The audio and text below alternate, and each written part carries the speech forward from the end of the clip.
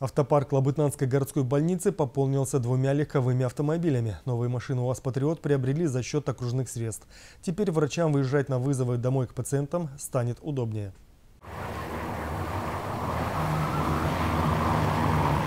Вот он, новенький УАЗ-патриот, прибывший из Ульяновска, выезжает из гаража. Лабытанским терапевтам и педиатрам теперь будет гораздо проще и быстрее добираться до пациентов на дому.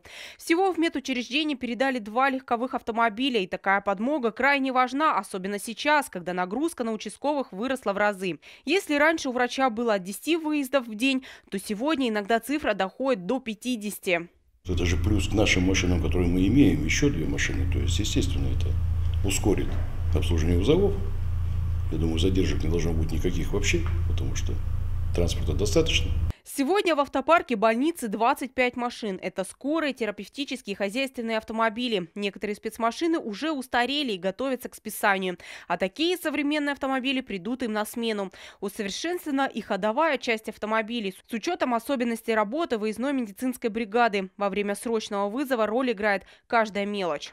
Ну, достаточно проходимые автомобили, достаточно несовременные, по нашим меркам сейчас как бы достаточно комфортные для работы, теплые. Ну, то, что в наших условиях и надо.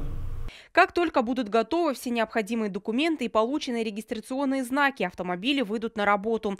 Кроме того, в декабре начали выезжать на вызовы к лабытанским пациентам новая скорая помощь и один реанимобиль. Они оснащены самым современным медицинским оборудованием. Дарья Самородова, Николай Снегир, программа «Время местное».